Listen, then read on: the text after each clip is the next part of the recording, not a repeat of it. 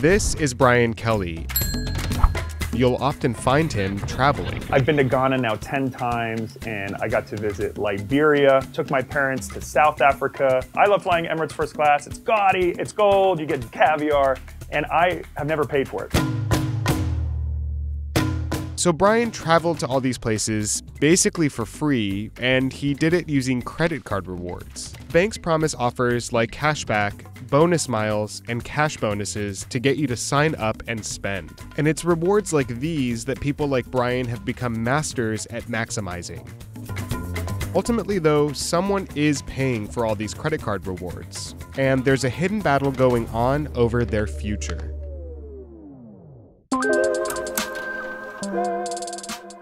During the Great Recession, some of the biggest US banks, Wells Fargo, JP Morgan, and Bank of America, had a problem. They weren't making as much money from mortgages. So they shifted their business to credit cards. And in order to get customers to sign up and spend on their cards, they offered bigger and better rewards. In 2011, we saw our first ever 100,000 point offer. Chase offered on a British Airways Visa 100,000 points for a credit card. It was wild. And really, I think what JP Morgan Chase was doing was thinking we got to focus more on consumer lending and not just on that corporate lending um, or even mortgages. As banks expanded rewards, more people started using rewards cards. By 2018, 92% of all credit card purchases were made on rewards credit cards. That's up from just 67% in 2008. But it's not the banks that ultimately pay for these rewards. So when a customer uses a credit card to buy something, the store is charged what's called an interchange fee. And that fee is a percentage of the total sale. It's the bank that issued the card that collects the interchange fee. And it's this money that they heavily rely on to pay cardholder rewards. They're making money on your annual fee and on interest. But the big way with these premium credit cards is the interchange fee. That's the bread and butter. Interchange fees aren't the same across all credit cards. Cards with low rewards typically have an interchange of about 1.5% of the purchase price, while cards with bigger rewards can have an interchange fee of nearly 3%. And the divide between these two types of cards has increased. Banks can make about 25 cents more per average purchase if the customer uses a premium rewards card over a basic one. In 2017, retailers paid card issuers $43.4 billion in interchange fees. So it's no surprise that stores aren't a huge fan of these credit card rewards. They don't really want to pay for your free trip to South Africa.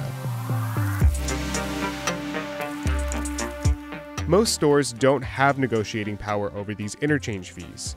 Payment networks like Visa and MasterCard require them to honor all cards, which means that they have to accept both low fee and high fee credit cards. And as a result, some stores reported that they've increased retail prices in order to make up for the cost of accepting credit cards. Which means even if you don't have a rewards card, you may still be paying for those rewards. So if you're using cash, you're basically paying for my points. So it can be argued that people who can't obtain credit, you know, those with lower incomes are uh, basically funding the system for others.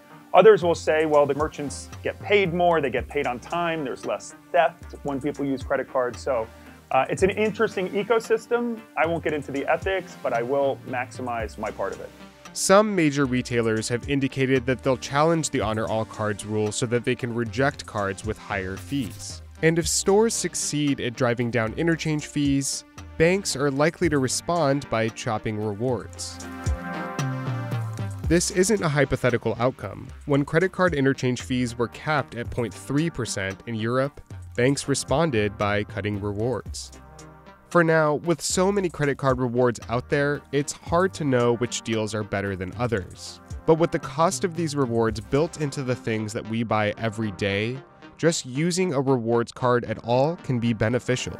If you're using a debit card or, God forbid, cash for purchases, you're literally leaving points and money on the table. It's like throwing money away every time you use cash. So get debt free, get disciplined with your finances, put your expenses on each month, pay them off, earn the points, and avoid interest. That's how you win at the points game. So Brian Kelly, the credit card rewards expert in this video, had a lot of great tips about how to get the most out of your credit card rewards. We didn't have time to include them all in this video, but I wanted to share them with you in a video extra. You can check out those extra tips at the Vox Video Lab. If you haven't already heard, we've launched a paid membership program right here on YouTube called the Video Lab. For a monthly fee, subscribers get access to tons of special features, including these tips on credit card rewards. So if you're not already a member and you're interested, head on over to vox.com forward slash join to sign up.